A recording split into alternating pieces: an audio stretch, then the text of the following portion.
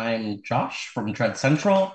Congratulations on this scary new movie. My first question for you today is When did you first encounter Stephen King in popular culture? Oh, interesting, Josh. I um good question. Um I don't know. What's what, what is God, what is um Mhm. Tommyknockers from? What is that? Is that a Yeah, yeah.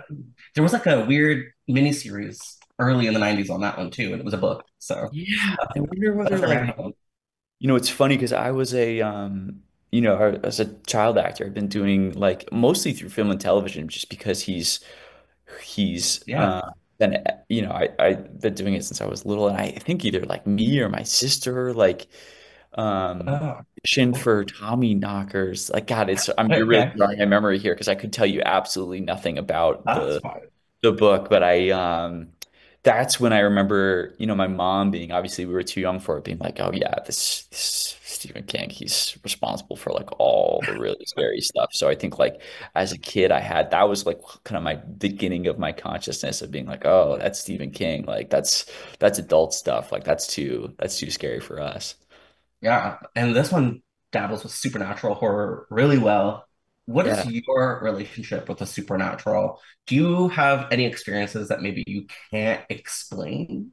No, I'm a total cynic. I am like a, a realist to the core. It's funny, like I, yeah, you know what? I I just mentioned my sister. She's two years older than me, and when we were little, she was like very afraid of the dark. And Not anymore, obviously, but she was like she was like you know constantly like kind of locking doors and worried about the person who would you know grab your ankle under the bed and stuff. And I think because of that, I overcompensated in the other Mhm. direction of being like, excuse me you know, I can run around at night in a graveyard and I don't know. And that I feel like that like ultimately like kind of became part of my personality of like, I'm not afraid of ghosts. I'm not afraid of the dark side. And, and it's sort of persisted to this day. The irony is like, I, you know, I love it as a device for storytelling. And, uh, Mhm.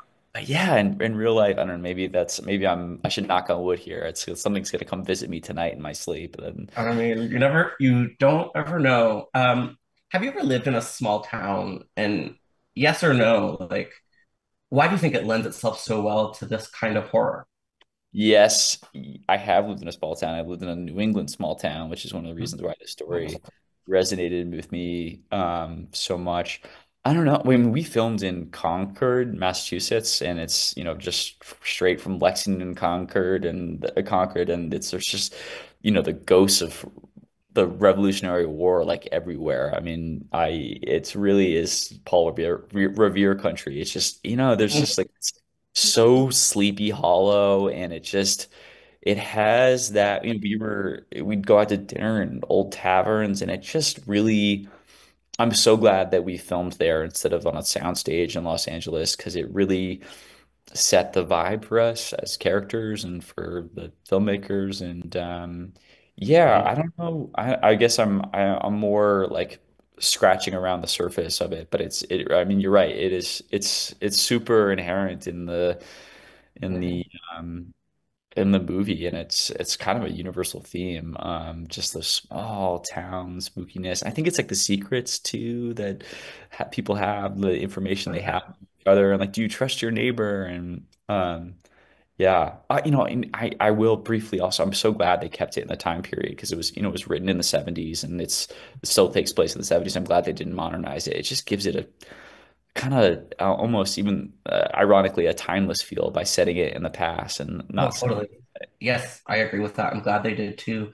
My last question for you today is, you know, the original Salem's Lot is responsible for ruining so many childhoods, especially one scene in particular with a window. And I'm wondering, what was a movie that really impacted you when you were young and like maybe scarred you for life? 100% watching Scream when oh. I Oh, was way too young to be watching that movie on a like Blockbuster rental that my sister had rented. And it was like one of my first nights, like my parents went out to dinner. It was like when I was like, and my sister was at a friend's house and I was home alone, like right when I, I don't know how old that would have been, but like right when I was like old enough to be home alone in the house without supervision. And I watched Scream and it just scared the crap out of me.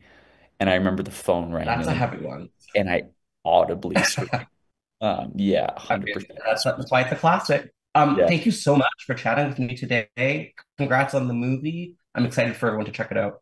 Yeah, thanks, Josh. Great talking to you. Thanks.